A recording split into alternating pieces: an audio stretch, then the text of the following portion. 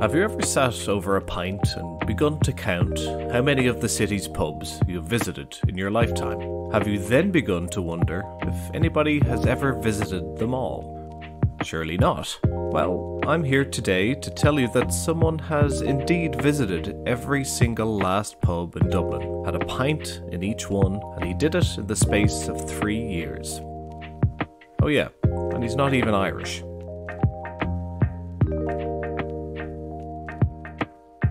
Welcome to Publin, a podcast about the culture, history, and heritage of pubs at home and abroad.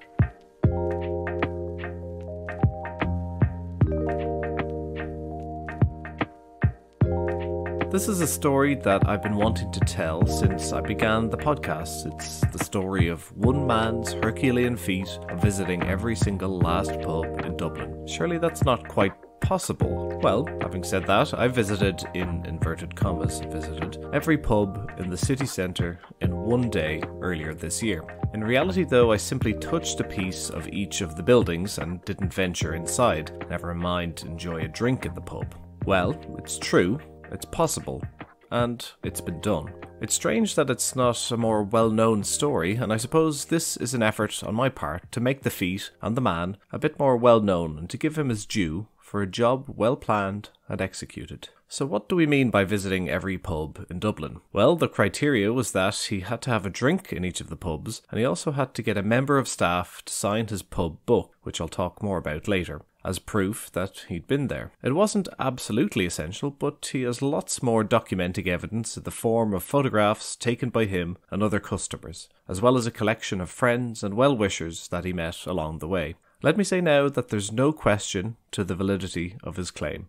All you have to do is take a look at social media from the period that he was visiting these pubs to find him popping up in urban and suburban Dublin, in craft beer pubs and stout houses, from the classiest joints to the dinkiest dive bars. Let me rewind back to 2015 when I first got involved with this story. I was tagged by a friend, Joe, in a post by Smith's Pub on Haddington Road. In the Facebook post, there was a photo of a young man who was apparently trying to visit every pub in Dublin. By my estimation, there were a few people here and there attempting to do something similar, but in a very ad hoc fashion, and not attempting it with any planning. This young man was different. He was already at pub 150 or so, and he had only been working at it for a few months at that stage. He was still working his way around the city centre pubs, which are concentrated densely in one area. So, who was this young man? Was he a local Dubliner who had already crossed off a number of pubs and set his sights on the remaining ones? Or was he from another county and simply a pub enthusiast on a mission? The answer is that he was neither. He wasn't even from Ireland.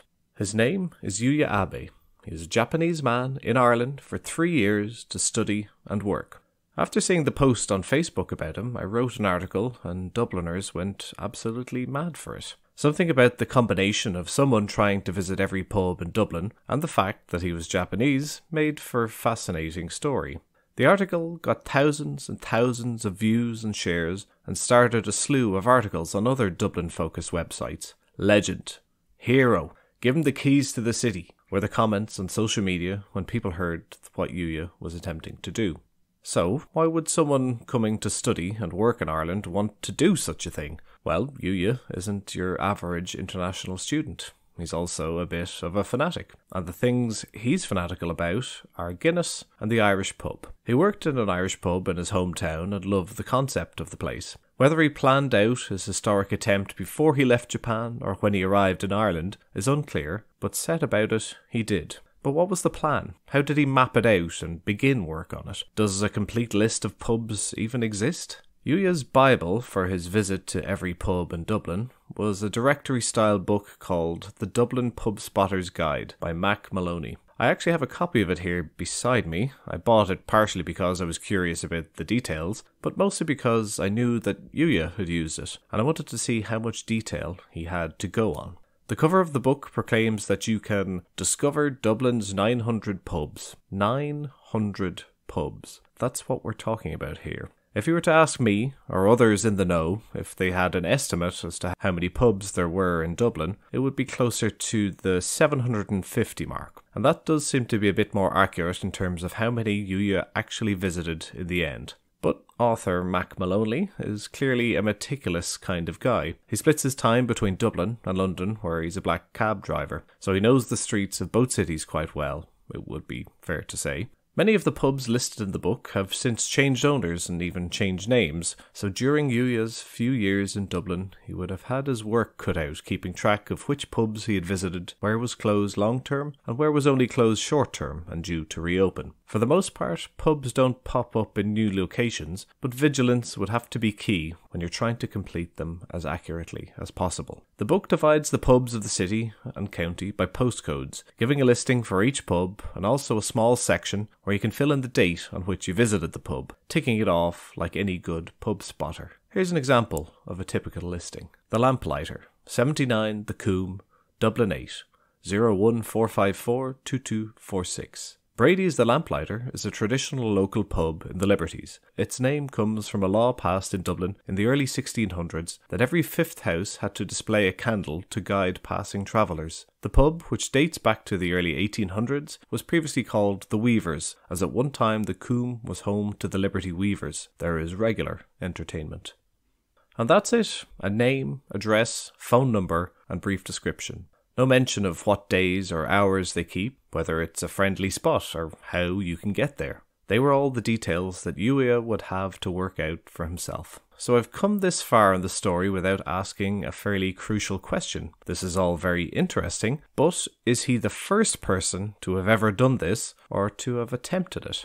To my knowledge, and the knowledge of anyone else who has come across the story, he is indeed the first person to have completed this feat. Anecdotally, I've heard of several people trying it over the course of several years, decades, or even a lifetime. I know two people residing in Dublin who for sure have ticked off hundreds and hundreds of pubs and licenses and I've had messages from others over the years who say they're keeping track of all the pubs they visit and want to tick them all off. Maybe living in the city permanently is actually a small bit of an impediment. If you have all the time in the world to visit these pubs, there's less of a sense of urgency to it, and generally life just gets in the way.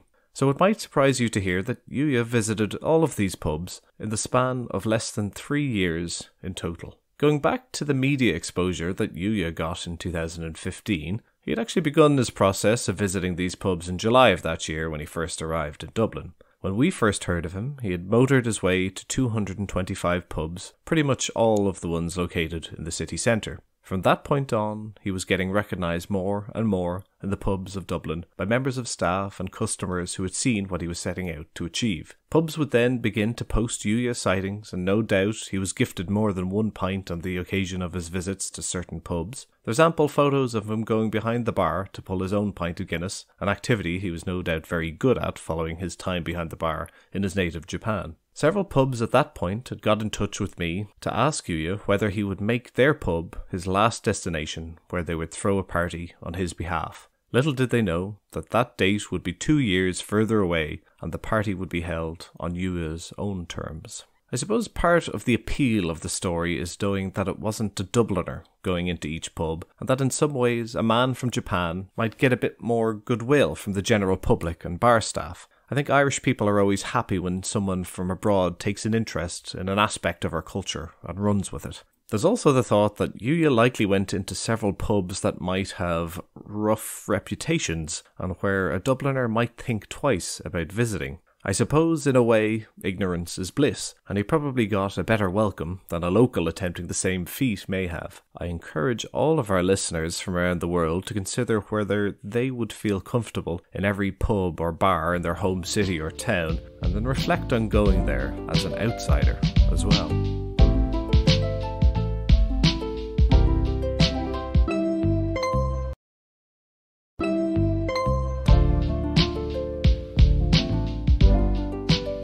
Drill down into the numbers a little bit. It took Yuya 967 days, or thereabouts, to visit every pub in Dublin. That makes for an average of visiting 0.75 pubs every day that he was in Ireland. So we're talking nearly a pub every day. Just think about trying to organise your life around that much pub crawling. Not to mention that it's 967 pints to consume at least at a cost of around 5,000 euro with the average price of a pint, and not including the free ones that he might have got along the way. And no doubt he enjoyed some pubs more than others and had more than one drink in each place. As I said before, the city centre pubs would have been handy enough to tick off, but once you get into suburban Dublin and getting public transport there and back and covering the distances between suburban pubs in areas that you're not at all familiar with, and you begin to see the logistical challenges that this task presented. Clearly, Yuya had to allocate some time to the planning stages of each mini pub crawl. Think of your local area and how you might do a pub crawl. I'll take mine, which is Blanchardstown, for instance. If I was to visit the Bell, the Black Wolf, and the Greyhound, that would be fairly doable, and there would just be a short walk in between. But add in the Great Wood and the shopping centre, the Twelfth Lock by the canal, the Clonsilla Inn, and the Hartstown House, and having a pint in each, you're talking about a minimum 30 minutes in each place and a decent walk between them, all while getting progressively more drunk. Then you have to get the 39 bus home, and to top it all off, you've got to do the Castleknock pubs the following day before you head back to college and your evening job in a pub. And at least on a trip like that, you could tick off a few pubs at once. But about the isolated pubs with limited public transport options, Yuya must have visited the Blue Light, a brilliant pub high up in the Dublin mountains overlooking the city. He'd have to get the Luas to Dundrum and then get the 44B up to Barnacullia at either 8.50am in the morning or 5.30pm in the evening, with the last bus returning coming at around 6:10 p.m. shortly after he'd arrived. How would you plan that visit out on its own without breaking the bank and knowing you had another dozen pubs to visit that weekend? It gets less glamorous and more impressive the more you delve into it. Along the way, I was friends with Yuya on Facebook and could see his progress and the messages sent to him by people who had met him along the way and those who simply wanted to wish him well. I actually had the good fortune to run into him once, and as chance would have it, it was in a pub, of course. I bumped into him in Piper's Corner in September 2017. I was there hosting a new pub pub crawl with my pal Lishuk, and he was there with some friends, ticking off the pub as it had just popped up to replace the long closed Sean O'Casey. Yuya was such a friendly guy, and it was easy to see why the city had taken him under its wing. He told me about visiting loads of pubs in detail that is unfortunately now forgotten to me. One thing I do remember about the encounter was when he pulled out his copy of Mac Maloney's Pub Spotter's Guide. My copy on the desk here beside me is second hand but in good condition. It basically just sat on a shelf and then went through a postbox once. Yuya's copy was the most productively used and battered book I've ever seen in my life. The binding still held, but it was clear that this book had been on a voyage. Dog eared, bruised, and creased, it had seen some things.